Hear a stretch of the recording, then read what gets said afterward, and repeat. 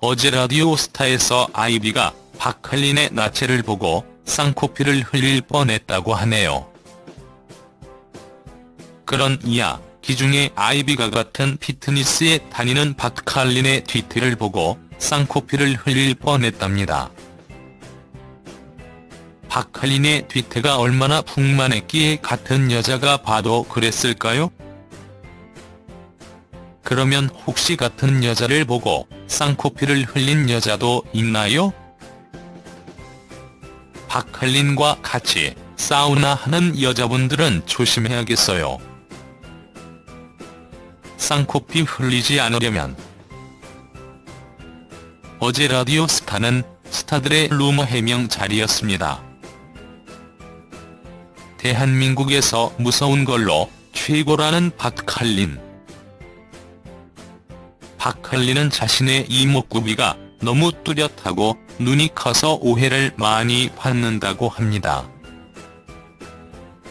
박할린에게 찍히면 다음 작품에서는 그 배우를 찾기 힘들다는 루머.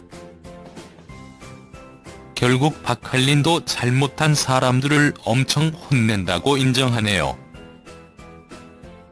그 외에도 박할린은 동성애자가 아니라고 직접 밝혔고 뮤지컬 배우인 최재림과의 스캔들을 부인하네요. 이날 박할린 외에도 아이비의 해명이 많았습니다. 소속사가 바뀐 뒤부터 아이비는 신비주의를 버리고 털털한 모습들을 많이 보여주었죠. 그런데 일각에서는 일부러 그런다고 의혹을 제기하기도 했죠. 예전에는 신비주의가 있어서 보여드릴 기회도 없었고 아이비의 엽기 사진들을 한번 보시죠. 혹시 저런 모습을 보고 자연스럽다고 하지 않나요?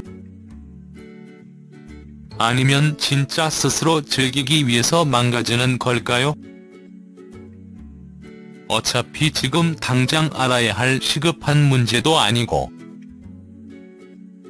오늘 이야기 중에 아이비의 박칼린 나체에 쌍코피를 흘릴 뻔했다는 이야기가 제일 기억에 남습니다.